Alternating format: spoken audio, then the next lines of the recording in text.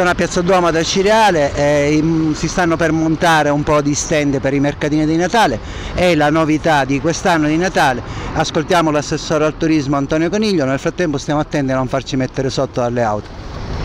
Innanzitutto per quanto riguarda la chiusa posso rassicurare che a breve le auto non ci saranno più perché è stata istituita nuovamente l'isola pedonale. Per quanto riguarda l'allestimento dei mercatini ci siamo quasi, le ultime ore lavoreremo eh, fino a domani pomeriggio alle 16 con l'inaugurazione e poi alle 18 l'inaugurazione della casa di Babbo Natale. Intorno il circuito dei presepi e tutto quello che già abbiamo annunciato nei giorni precedenti. Eh, assessore, non voglio insistere, ma domani questa inaugurazione avverrà a traffico aperto perché questo è un passaggio importante. No, domani ci sarà un'inaugurazione a traffico chiuso, ovviamente il tema è che a causa dei lavori di via Galatea ci dobbiamo prendere qualche altro giorno perché non si riesce a uh, determinare un quadro sereno con via Galatea chiusa in parte e, e l'assetto che ancora non è organizzato, ma l'isola pedonale ci sarà.